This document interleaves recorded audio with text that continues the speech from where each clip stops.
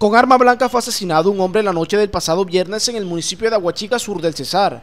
Alirio Antonio Ortiz Barbosa, natural de Convención Norte de Santander, fallado por residentes del barrio Romero Díaz del municipio de Aguachica con varias heridas, una de ellas en el tórax, las cuales determinaron su deceso. Un hombre identificado como Duban Rafael González fue asesinado con arma de fuego luego de que aparentemente intentara asaltar un establecimiento comercial del municipio del Copey. Según las autoridades policiales, este hombre presentaba antecedentes judiciales por tráfico, fabricación y porte de estupefacientes.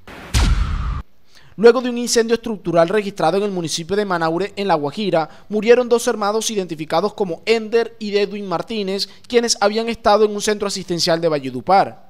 La conflagración se había presentado luego de que un menor, quien también murió por las quemaduras sufridas, manipulara una botella con gasolina en la cocina, originando el incendio que cobró la vida de las tres personas.